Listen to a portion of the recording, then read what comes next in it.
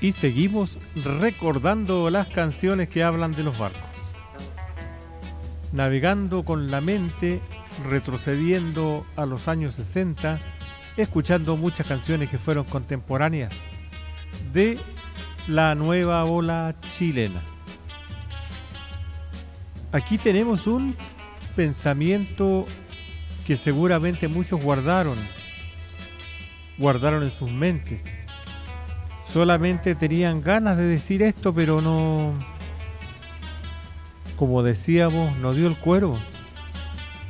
O esta señora bonita era inalcanzable. ¿Quién, ¿Quiénes no admiraron alguna vez a, no sé, a la mujer del vecino? La veían pasar por la calle. A alguna amiga.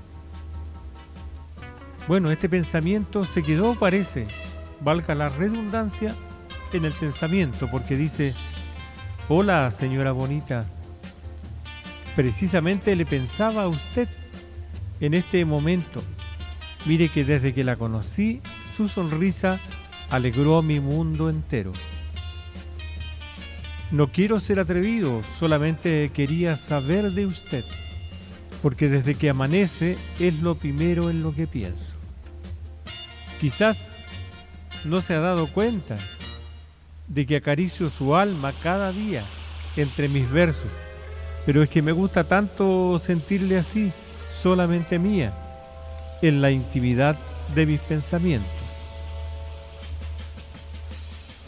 Bonito, debe haber sido muy bonita esa señora, así como la señora bonita a la cual le cantaba Tommy Rey.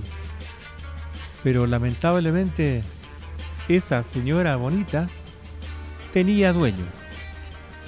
Y ese amor platónico no quedó más que en eso. Era un sueño, era un pensamiento.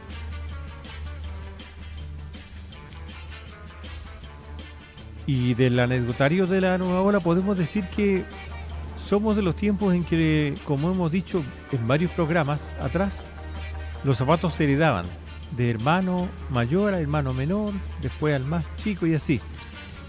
Duraban una eternidad. Y el caso de los adultos, por supuesto, también eran muy buenos zapatos, de cuero y suela. Pero se gastaban, naturalmente. La suela había que cambiarla. Se cambiaba media suela o suela entera. Media suela y taco, y en fin, y así. Y los zapatos duraban años. Me imagino que los de ahora no son de tan buena calidad como los de aquel entonces.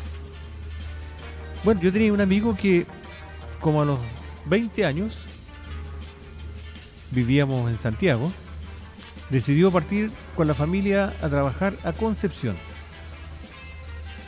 Y a los 30 años vuelve a Santiago, este amigo, y se encuentra con, caminando por la calle con las zapaterías del barrio.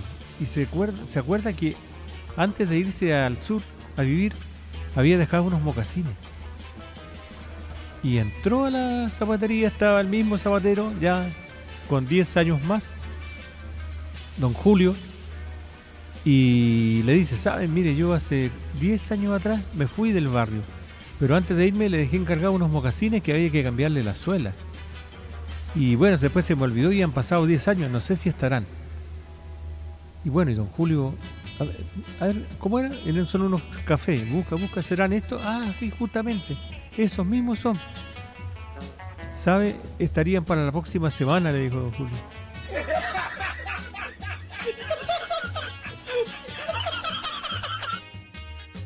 Al parecer, los zapateros eran un tanto tramitadores.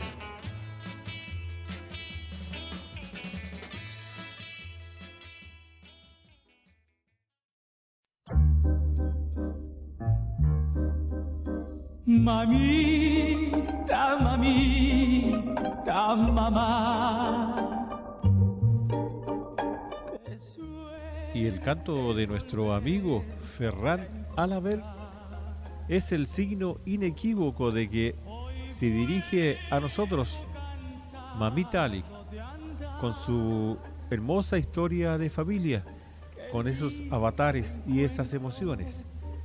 esa familia tan unida que está luchando, ayudando a Minko Show a salir adelante. Mamita Ali nos cuenta cómo va la vida. Esta vez con un mensaje de voz que nos envió el día miércoles 8 de marzo, en el Día Internacional de la Mujer. Escuchemos a Mamita Ali. Oscarito, buenas tardes, ¿cómo está usted y familia? Nosotros bien, gracias a Dios, Oscarito. Bueno, le estoy llamando en este momento, que es el Día Internacional de la Mujer, para saludar a todas las mujeres que están en el programa, en vuestro programa, el suyo y el de nosotros. Un feliz día para todas, en especial para su amada esposa. Bueno, le contaré a Oscarito que vengo recién llegando con mi esposo del puerto de San Antonio. Nos fuimos el sábado y llegamos ahora hace poquito. Eh, estuvimos con mi cuñada, fuimos a visitar la tumba de mi madre, que la dejamos hermosa, y nos vinimos hoy día. Y mi esposo, gracias al Señor, está bien, pero nos toca ir al médico ahora el 14 para saber el resultado de la biopsia, cómo le fue en la operación del 31 de enero. Así que ahí les cuento en el camino, ¿ya? Saludos para todo, para todas las personas que están en la oración para mi esposo, y besitos para todos los que estuvieron de cumpleaños, para Oscar Galloso también, que estuvo de cumpleaños el 15, también un feliz cumpleaños para él, que Dios lo bendiga y lo cuide mucho. Bueno, para todos, porque los quiero a todos, a todos. Y en oración están todos, todos, porque todas las noches y todas las mañanas oración por todos nosotros. Ya, mi Oscarito, besito, besito, le queremos mucho, gracias por todo, por la preocupación, y nos estamos escuchando de nuevo o en comentario, ¿ya? Gracias por todo. Saludos, saludos, besitos, besitos para todos. Estamos presentando su programa Personajes de la Nueva Ola con Oscar Rito en el canal de YouTube Modo Radio y en la frecuencia modulada chilena Radio Fiesta Latina 92.5 en Renaico y emisoras La Brisa 107.3 la radio del sol, en Lampa, región metropolitana. Sigamos disfrutando con la nueva ola.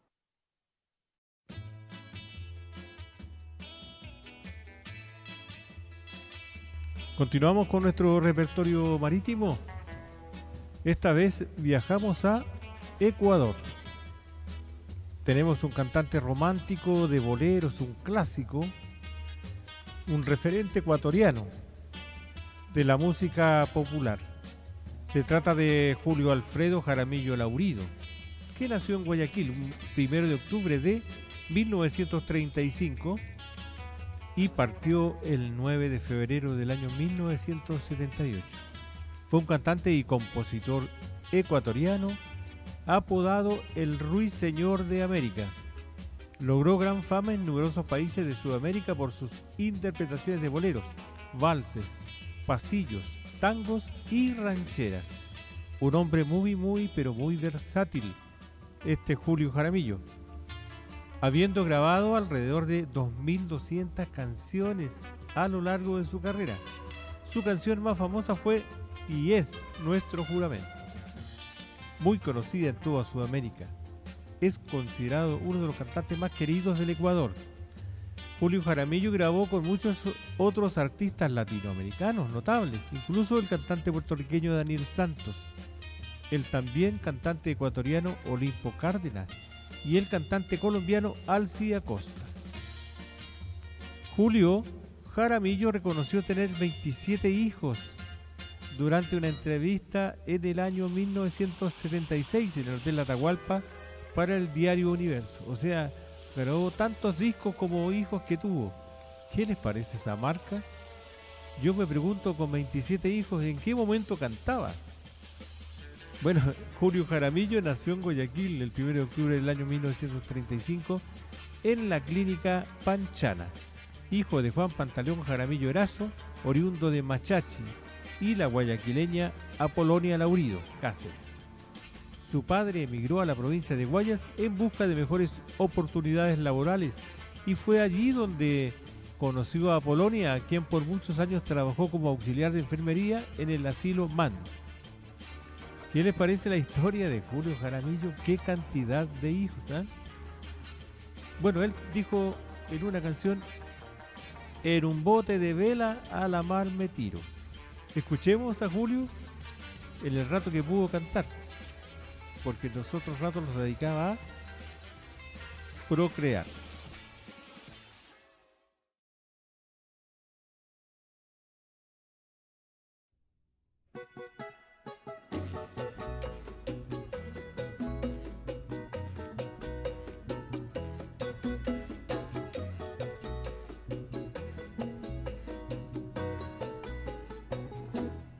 Bote de vela a la mar me tiro, que me lleve el viento muy lejos contigo. En un bote de vela sin ancla y compás, rumbo no sé dónde quiero naufragar. En una de esas islas muy lejos de aquí, donde tú y yo solos podamos vivir. En bote de vela a la mar me tiro, que me lleve el viento muy lejos contigo. En un bote de vela sin ancla y compás, rumbo no sé dónde quiero naufragar.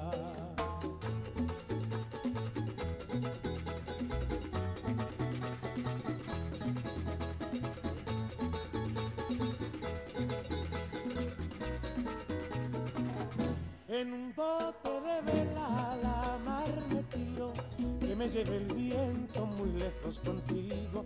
En un bote de vela sin ancla y compás, rumbo no sé dónde quiero naufragar. En una de esas islas muy lejos de aquí, donde tú y yo solos podamos vivir. En un bote de vela a la mar me tiro, que me lleve el viento muy lejos contigo. En un bote de vela sin ancla y compás, rumbo no sé dónde quiero naufragar.